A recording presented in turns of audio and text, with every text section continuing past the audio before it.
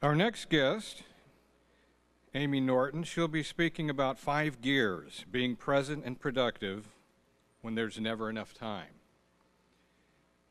Amy Norton is a, uh, a partner at Giant Worldwide, a global company dedicated to leadership transformation and healthy multiplication.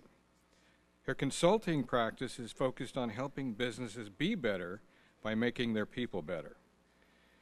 Whether she's coaching individuals or implementing company wide training programs, her communication expertise enables people to understand their current reality and make their meaningful changes in all circles of influence. I know this firsthand because I've been lucky enough to have her as my coach for the last year. Ladies and gentlemen, please welcome Amy Norton. Thank you, Phil. Good morning.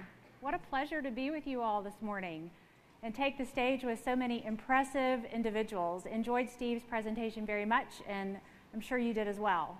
Um, it, it, truly is an honor to get to spend some time with airmen, and I really am excited to spend about 45 minutes talking about some practical, important information to help you be the leader you want to be.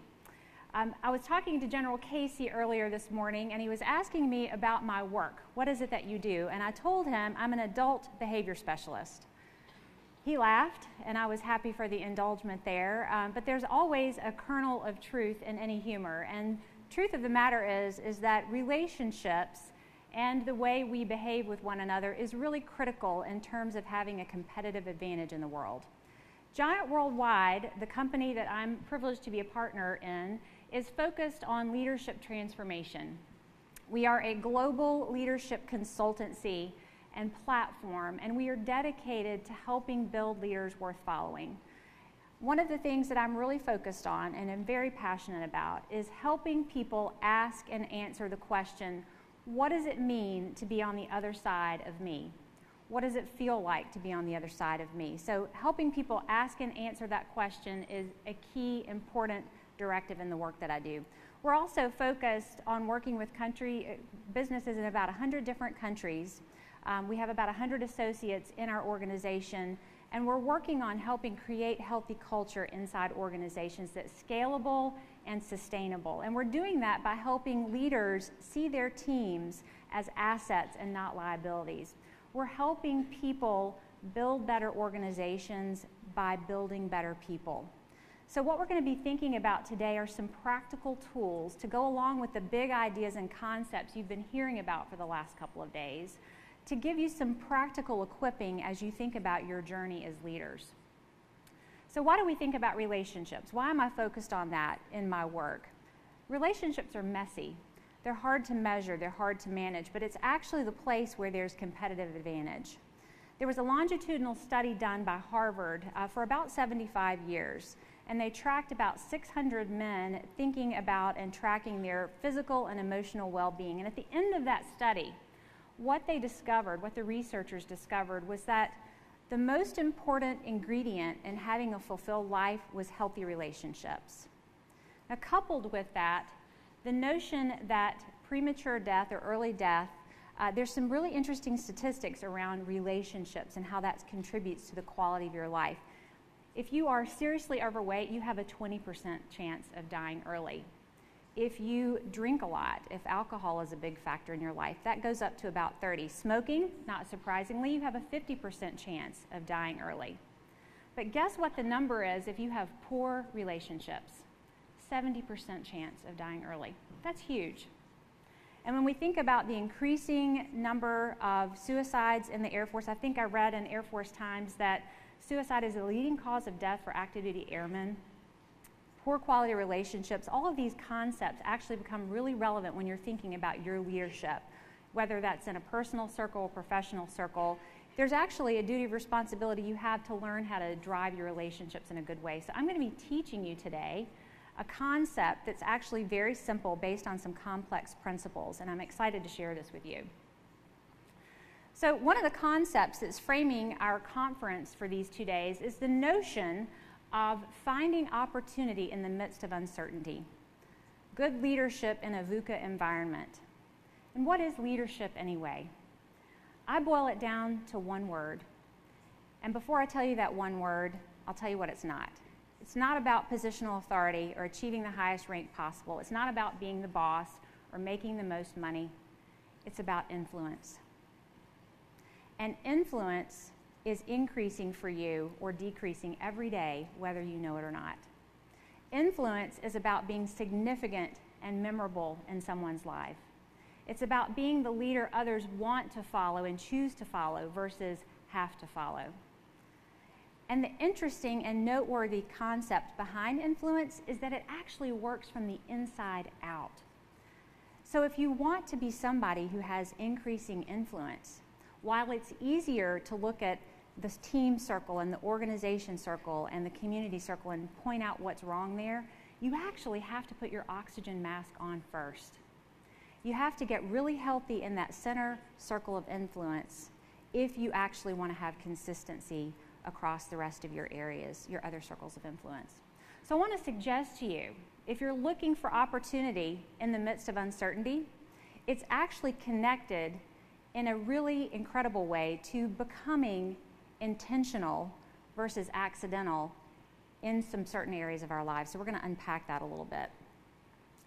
I want you to think for just a minute about what was top of mind for you, maybe this morning, or maybe roll it back a couple days to Monday before you arrived here.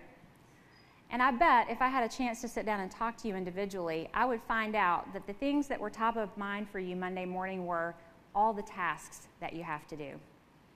Maybe where we are on a project, how are we coming along on completing something toward a deadline, all of the to dos, all the tasks. Does that sound familiar? We're really focusing on execution, and execution is important, right? And the profession of arms actually comes with certain unique circumstances. Execution around mission is really important. But the fact of the matter is, is that because we live in a task dominated world and because we really focus intentionally on executing well, in fact, if you didn't focus on executing well, you probably wouldn't be sitting here. Because of this focus on execution, sometimes we are very accidental in the way we develop ourselves and the way that we develop our teams. So today I'm giving you an opportunity, practically speaking, to think about what it looks like to develop yourself in terms of relational connectivity and relational intelligence. Because I believe that if you're looking for opportunity in the midst of uncertainty, it's connected to intentional relational development and relational intelligence. So, as we're thinking about today, I really want you focused on understanding what your current reality is as leaders. January is often a great reflective time where we're considering what we want to accomplish in the new year, looking back retrospectively at what we accomplished or didn't in the previous year. So today you have an opportunity to think about what matters to you, what your priorities are. Because interestingly, priorities are what determine your capacity.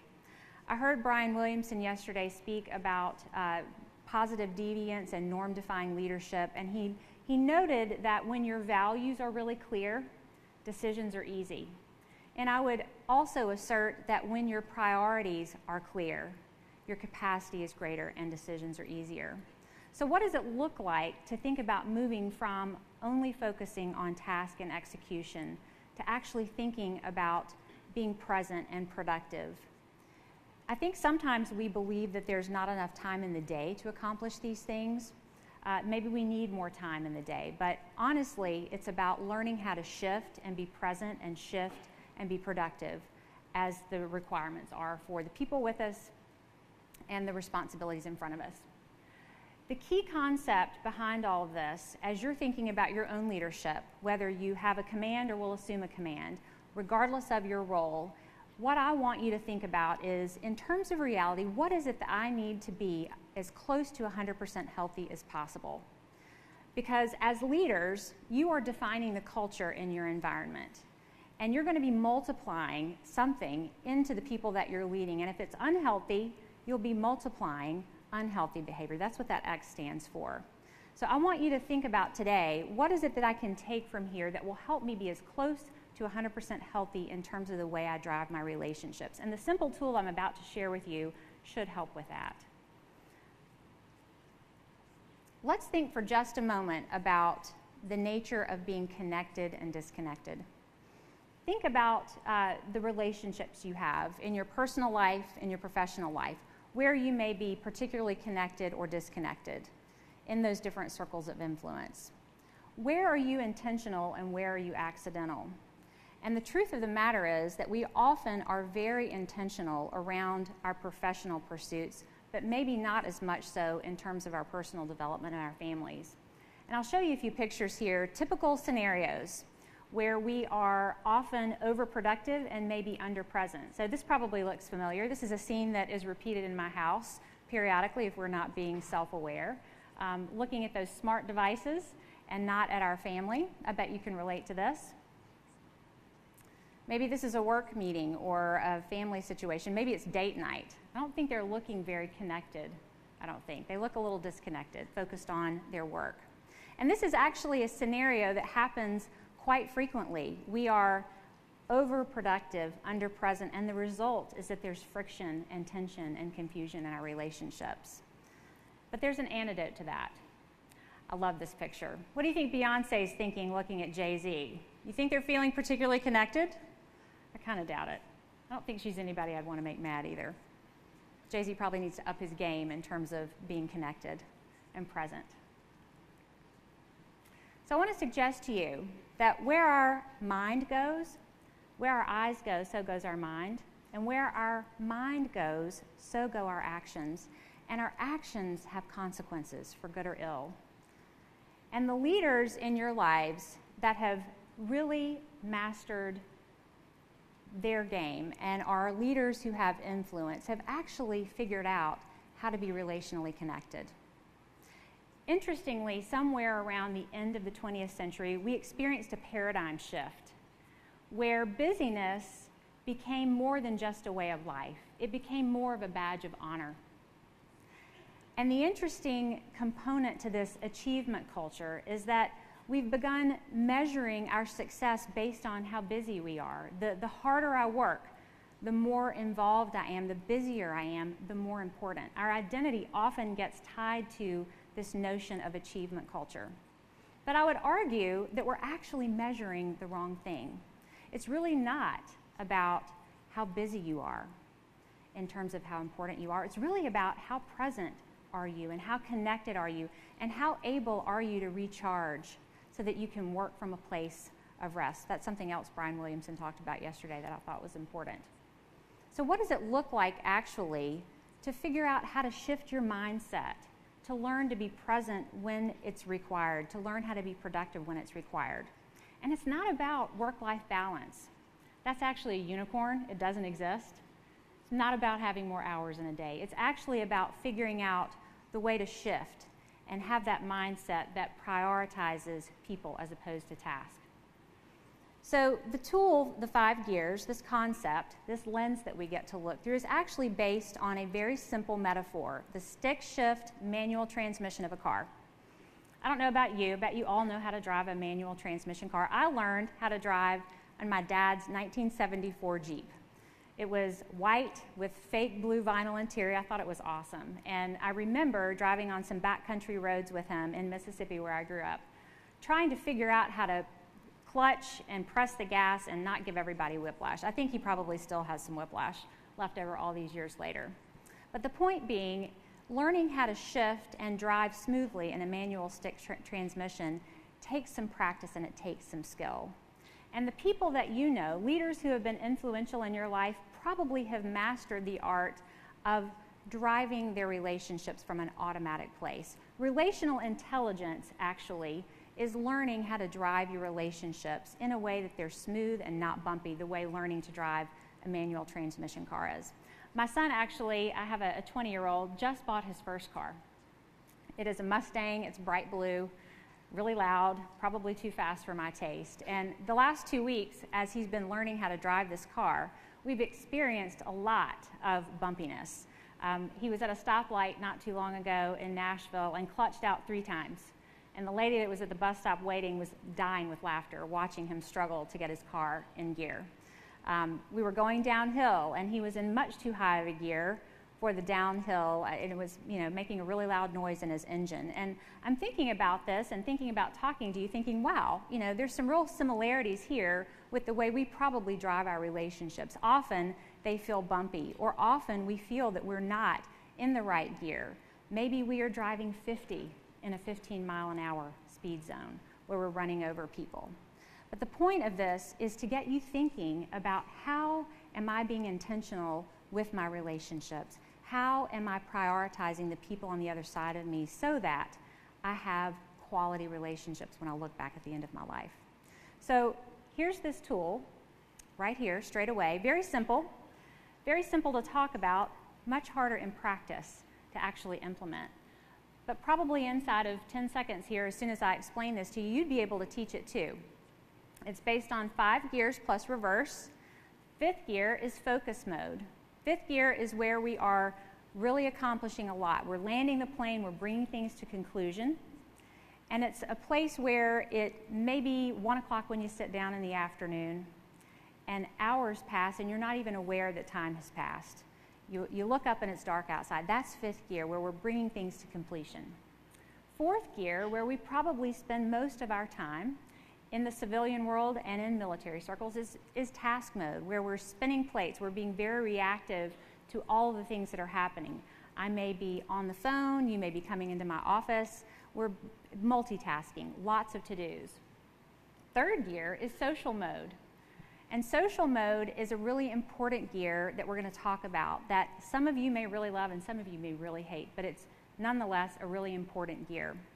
It's where we are getting to know people and learning if we want to know somebody in a greater way. Um, we'll talk more about this. Second gear is connect mode, where we are connecting deeply with people who matter to us, family, friends, without a work agenda. First gear is also a really important gear. This is the recharge mode where we are gaining energy and resting, and it looks different for everybody. We're going to talk about this. Reverse or responsive mode is the art of the apology. Now, what's important to know about all of these gears is that they're all necessary.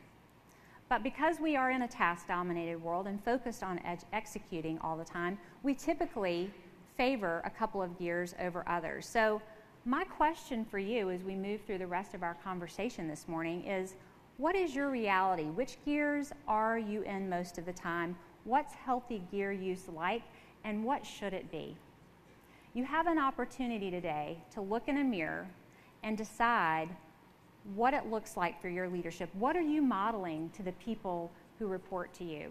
What is it that you want in terms of culture? So, we're going to unpack these gears and think a little bit about what healthy gear use is and what unhealthy gear use is, and give you a chance to decide what kind of stake do I want to put in the ground in terms of how I'm driving my life and my relationships. One other small point about these gears is that it actually works as a sign language. One of the key issues I, I observe in working with teams is tension and friction and confusion because we don't have a shared vocabulary. And how exciting to think that something like this simple tool could actually become a sign language and reduce the drama in our organizations. If I held up a five right now, if we were all on break and I said, all right, fourth gear, fifth gear, I wouldn't have to nag you to get back to work. I'm simply holding up four fingers. You know, if we share this language, that it's time to get back to work. If we're in a social situation and you're talking about spreadsheets and budgets, and I do this, I'm not nagging, I'm not creating any frustration there. I'm giving you a simple sign that says, all right, it's time to socialize. So I want you to be thinking about the practical application side of this as we continue to unpack the gears. Here's a great visual that shows how these gears play out in a lot of our life. In this corner here, this looks like fifth gear to me. People are really focused on their work. Perhaps here, this looks like third gear to me. It's party time on the airplane. Recharge, rest, first gear. Second gear, connecting with family. And fourth gear, really focusing on tasks. So you can see very easily from this simple collection of photos that all of these people are engaged in, this, in these different gears, and it's really important that you learn how to navigate all. So we're going to continue unpacking this tool, and I want you thinking in your mind, which gears do I naturally default to and where do I need to grow? So, fifth gear, focus mode. This is where I'm really in the zone. Time is passing very quickly. I'm hyper focused and time flies by, and there are not any interruptions. In fact, when you're in fifth gear, it's not an easy gear to get into. And when you get to that place where you're all completely focused, when somebody interrupts your focus, interrupts you opening your door, coming in your office, it's really hard to regain your focus. I do have some clients who actually have put fifth gear signs on their doors when they need to be in focus mode so people know because they have that shared language I don't need to be interrupted now. I need to focus on what I'm doing. Unless the building's burning down, don't interrupt. It's actually a helpful language. And in terms of healthy or unhealthy, I want you to think for just a minute is getting up into fifth gear where you can really complete a task something that's easy or hard for you? Some of us, extroverts who enjoy connecting with other people, find fifth gear very draining. Having to sit down, close the door, and really focus by themselves on a task can be a very difficult place to be. But if you can't get there, think about what's not getting accomplished. So the question for you is do I use this gear a lot? Do I never use it? Is it healthy? Is it unhealthy? What is your reality? And how would you know actually if fifth gear is an unhealthy gear for you? Well, if your family plans outings and adventures expecting you to always be working, and they grow accustomed to you always saying that you're busy, you might have too much fifth gear in your life. If you are constantly on the edge of burnout, if you are constantly exhausted and not sleeping well, you may be working too much. You may be focused too much in fifth gear space at the expense of using and learning to use other gears. Think for just a minute about what might be causing you to overwork. How does that impact the people closest to you? I have a client back in Nashville, an accounting firm, and they were having some third gear social time. It was during tax season, which was creating a lot of stress for their team, and one of the accountants came into the lunch break with her files. And she sat at the table where everybody was having lunch and enjoying themselves, continuing to work. So, this is an example of a lack of relational intelligence where somebody's in the wrong gear at the wrong time. Missed opportunity to build some connection, even in the midst of a busy time. So, the answer is learning how to shift. We're going to talk about some strategies for that. But I want you to be thinking what is relational health for you in terms of this gear? If you don't use it at all, something to learn how to add to your, to your work routine and your rhythms. If you're in it all the time, you may be feeling some friction and some distance in your important relationships. So here's a challenge for you. If you're in fifth gear too much, if you're not in it enough, consider scheduling it on your calendar for a month and see what difference this makes, giving you a visual prompt on your calendar to shift in and out of that gear. I actually have to block it out on my schedule. I have a very hard time slowing down long enough to get in fifth gear. So I actually have prompts on my calendar that Mondays and Wednesdays and Fridays I have a block of time where I can focus, and I try not to schedule meetings during that time.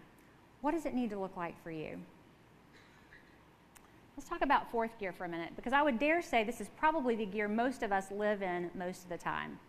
On the Ed Sullivan Show years ago, there was a man in a tacky blue tuxedo who spent his time on that show in his segment spinning plates back and forth eight or 10 plates on dowels, keeping them spinning. And I think that's a great visual for what fourth gear looks like for us. We're multitasking, we're trying to accomplish a lot, but sometimes there's a lot of busyness without a lot of understanding of what I've accomplished. So if you feel like that, if you feel like you're constantly moving pieces and parts around but not necessarily getting a lot done, that may be fourth gear that's unhealthy. Another sign that fourth gear might be unhealthy is if you are really having trouble sleeping, or if people are saying, you know, I would love to ask you to volunteer for this school project, but I know how busy you're always working. That's a symptom of too much fourth gear. A few years ago, when I was in a different career, I was in a very stressful period of the year with a big project and very focused on what I was doing. And I was at home at the end of the day pretending to do mom like things like burn dinner, cook something at the stove. And I will never forget my daughter walking in at the end of a really long day. She'd failed a test or had something that was really distressing to her. And she walks in. I've got the phone cradled in my ear. I'm kicking the dog out of the way and stirring something on the stove on the phone. And she says, Mom, I failed my test. And I say, Oh, that's so nice, honey. epic moment of failure as a parent. I was absolutely not connected and absolutely not present for her in that moment. And I bet if we had the luxury of time to talk one on one, you would all have some similar stories. Maybe in that family circle, maybe in that work circle where you've been so focused on fourth and fifth gear activities that you miss the opportunity to connect with somebody who's important to you. So, this is the reality that when we are overproductive and underpresent, we have out of sync relationships that are absolutely unfulfilling. And that tracks back to the whole notion of statistics and what do we want to see at the end of our lives? So, why do you think that it's hard to be present with those that you care about most? What is it that contributes to the difficulty you may have being present? We're not unique. This is something that most people in America really struggle with who have professional careers. How am I able to be present when there's so much to do, when there's so much responsibility? So, here's a challenge. If any of you are guilty of doing email before breakfast, let me challenge you January is a great month to take on a new challenge. Don't do that for a month. Take it from me. I actually realized a number of years ago, and I'll tell you my first gear story around this, that at a certain period in my life, I started every single day with email before my feet even hit the ground. That's not a recipe for success, and that's not a recipe for a fulfilling life when you let email drive your day. Better yet, to start your day with something that feeds you, that inspires you, that energizes you for the day ahead. So there's a strategy, fourth gear challenge. Third gear is social mode. This is where you are. We were at dinner last night with the speakers and some other people associated with the conference, socializing, having drinks, enjoying getting to know people that you might not have met before. And this can feel like a pointless gear to some people. Some people come to networking opportunities and social gatherings and they feel, I don't really need more best friends. I'm too busy. I've got too many important things to do. This feels like a waste of time. And that kind of arrogance can actually get in the way of the opportunity to see what's possible meeting new people. Some of you don't like third gear because you're introverts or you feel social shyness. So, engaging in a large public social situation brings some stress to you.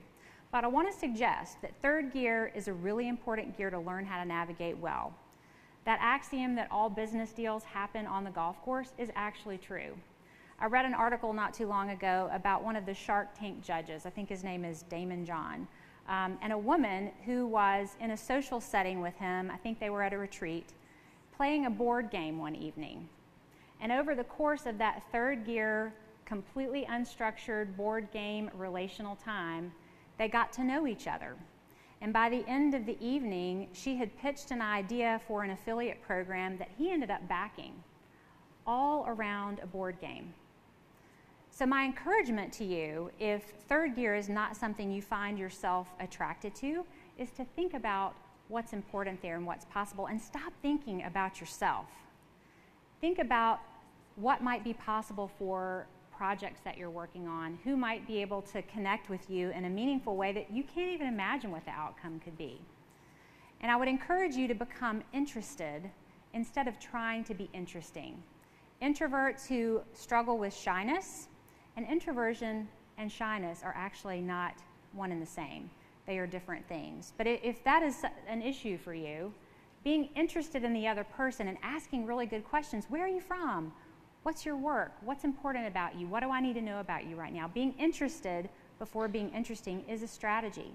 And that also works if you come from the I have too much to do to go to these networking opportunities. You never know what's possible by giving yourself the opportunity to navigate there. So think about it. What may be keeping you from connecting with other people? What might be keeping you in fourth gear and not giving yourself the opportunity to intentionally shift into third gear. Strategy for this find somebody who does it well. I encourage all the clients I work with to become keen observers of people who do things well, who are good leaders, who are great at relationships, who are great at strategy, great at problem solving. And that's actually a great suggestion when thinking about learning to do third gear better. Find somebody who does it well and imitate them. Second gear, another important gear. This is connect mode. We're going deep in conversation. We're not talking about work. We're really being present and being connected. I love what Steve Justice said a little bit ago about listening, that when we talk, our physical, uh, whatever the organ in your ear is, I can't remember now, actually makes it harder for us to hear. And so much about second gear is learning to be an active listener, where you're listening to understand and listening to ask the next question. And this is actually a really hard gear for people.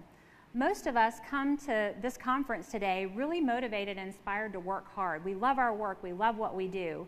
And shifting down into second gear can be a very difficult place. But think about the danger of not learning to navigate this gear well. Think of the influence left on the table if this is not a gear that you learn to navigate. So, authentic conversation, listening well, these are the hallmark characteristics of second gear, and the relationally intelligent person learns how to do this. Question for you How does your tendency to go too deep impact your relationship? Some people have a tendency to spend so much time in second gear, it can interrupt the flow. Um, I was at a meeting once, we were ready to start, and somebody whipped out their vacation photos right at the moment we were about to start our meeting. Bad use of second gear. Having a, a deep conversation in a cubicle environment about personal things, not a real good use of second gear.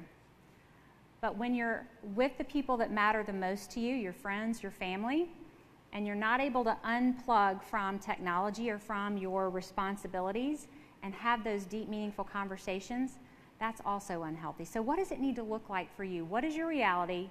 Where do you need to grow?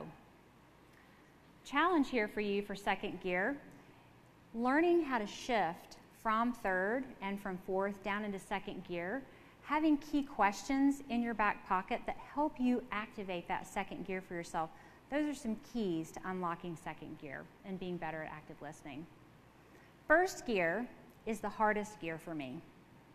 First gear is about recharge, and it's about plugging in and figuring out what effective rest and re energizing is for you. And it looks different for everybody. If you're an extrovert, recharging for you may be playing a round of golf with your best friends, it may be going to dinner uh, at the end of the week or going to a bar and celebrating.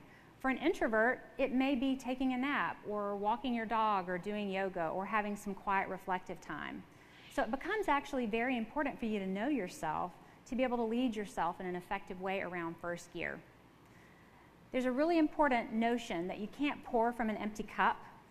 And if you're really going to be good for your teams, if you're going to be good leaders, you've actually got to learn to prioritize first gear. And I'll tell you, I don't know about you, but it's the first thing that falls off my radar.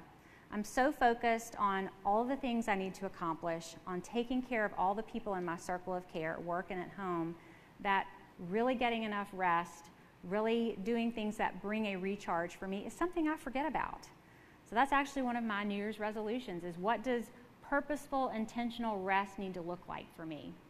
If you're not intentional here, then you end up seeing that spinning pinwheel of death. If you have Mac devices, spinning pinwheel, not enough energy. Um, your battery on your phone gives you a low, low energy signal when it's time to recharge that battery. It means there's not a lot of life left.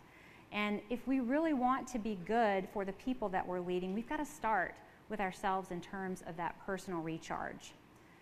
It's actually really critical to being able to navigate the rest of the gears well.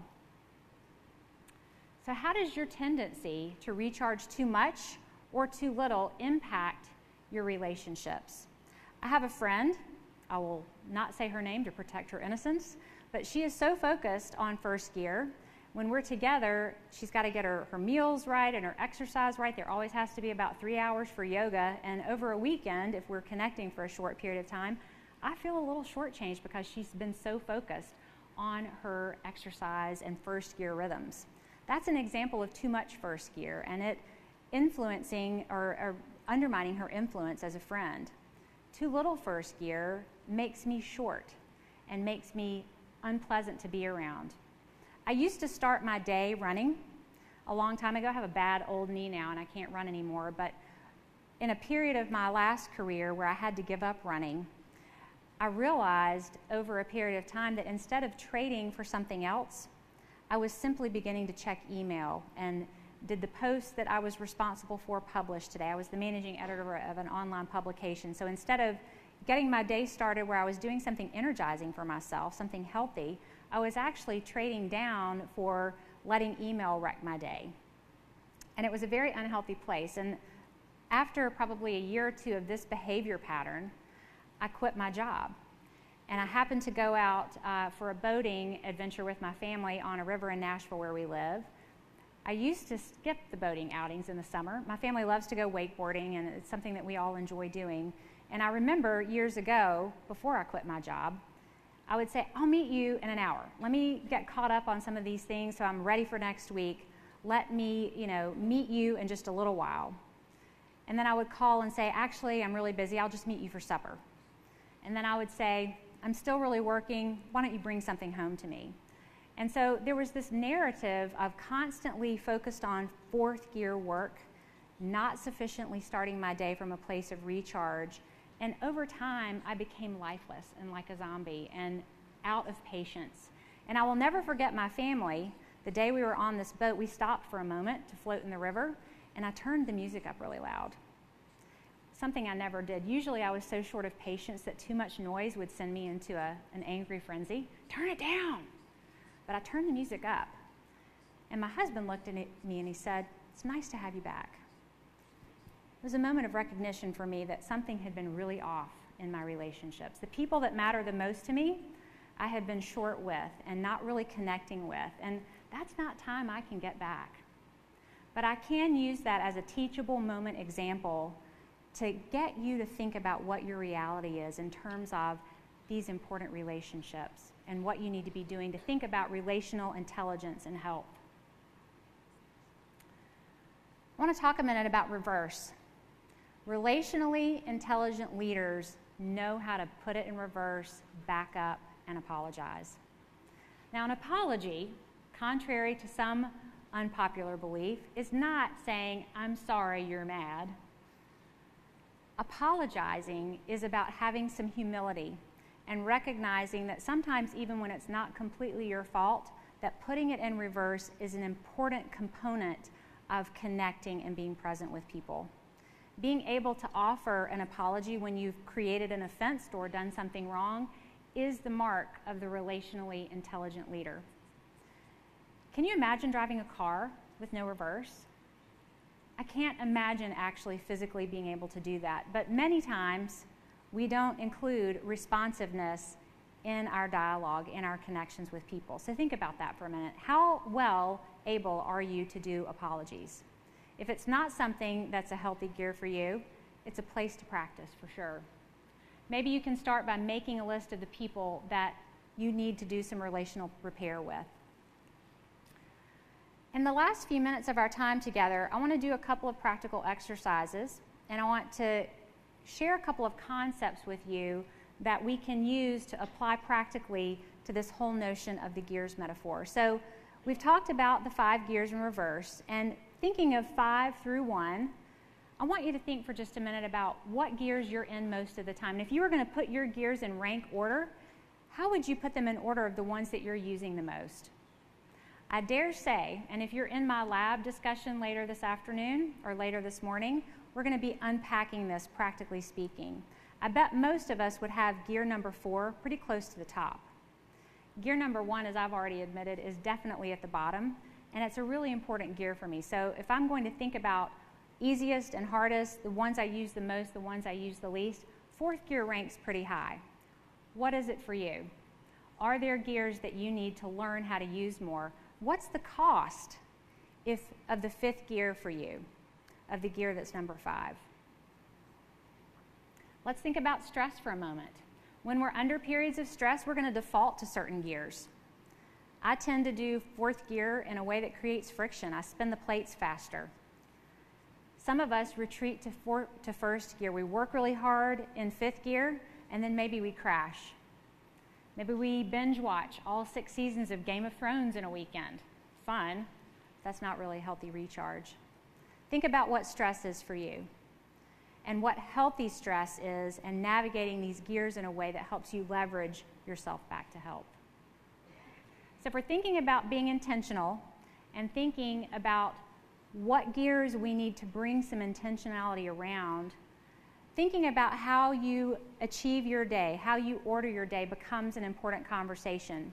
I've got some suggested guidelines here for ordering your day, creating a rhythm around the gears. When I did this exercise the first time, I think I had a four in every single block. Not healthy, right? A car has all those gears for a reason. They're designed to use them all. We are the same way. We need to figure out what it looks like to have a healthy gear rhythm in our lives. So, thinking about how you're driving your day, what your settings are, mastering those settings actually becomes really important. That slide looks really bad. It's supposed to say trade up. So, I encourage people to think about if they're in, in the car driving to and from work and they listen to talk radio all the time, what does it look like to trade up to a podcast on a topic that you want to learn more about? I had to learn to trade up. When I had to give up running and I traded it out for email, I had to learn to trade up for some kind of practice that was energizing. And I don't run now, but I do work out with a trainer twice a week, so that's how I start my day on Sundays. Sometimes it's a a spiritual or meditative practice? What does it need to be for you? Where do you need to trade up from something that's creating disconnect in your relationships to something that is life giving? Transitions are actually the hardest part in shifting to be present and shifting to be productive. And mastering transitions and figuring out some tricks and some strategies to help you go from fourth to third to second and vice versa is really important. And it's actually the key behind learning how to use these gears well. So, I want to give you a couple of strategies that I have found useful in learning to navigate the gears. So, finding a marker or a trigger point as you're driving home at the end of the day is actually a great strategy. Maybe it's a convenience store like this QuikTrip picture, maybe it's a bridge or some marker some distance from your house. I, I tend to be in fourth gear all the way home. Um, I will drive back to Nashville today and I will make lots of phone calls that I didn't get to take care of during the day here. I'll be in fourth gear for four hours probably. But when I reach Cool Springs, when I reach that exit that's about 15 minutes from my house, that's my trigger point on my way home from Montgomery or Birmingham. And I will stop talking to whoever I'm talking to about work and I'll start thinking, I wonder what my family's doing today. I wonder if somebody's cooking dinner so I don't have to do that tonight. I wonder what my kids' days have been like. I wonder what my husband's work day has been. What are we going to do tonight as a family to connect because both of my kids are leaving in the next couple days? So I'm going to shift my mindset and use that trigger point as a way to transition into some good second gear time when I get home as opposed to walking in on the phone, be with you in a minute. Yeah, how many times have we done that? Another strategy is thinking about the 58s. When you have a meeting with somebody, setting an alarm a few minutes before that meeting starts gives you an opportunity to actually set aside the task and begin thinking about the person coming to see you. How often do people show up in your office and you're on the phone or you're on your computer and they're feeling awkward? They don't really know what to do because you've called them in and you look up in a minute and you say, What do you got, Chris? And Chris says, I don't know, you called the meeting. So there's this awkward moment when, if you use these trigger points, take a, a couple of minutes before Chris arrives for your meeting and begin thinking, what's he coming to talk to me about? What's our agenda today? What do we need to accomplish? And beginning in a little third gear conversation as he arrives helps him to feel like a priority. Prioritizing your followers using trigger points like this is a real strategy to help yourselves be somebody other people want to follow. So, when we're thinking about finding opportunity in the midst of uncertainty. You actually have some real practical things you can do to leverage this, to actually be a leader other people want to follow. But it requires you to make a commitment and decide, I want to be different, I want to be better. Finding that opportunity in the midst of uncertainty begins with you and begins with your intentional decision to prioritize relationships and learn to be productive when it is required, but also learning to connect to those people that are most important. Thank you for your time today.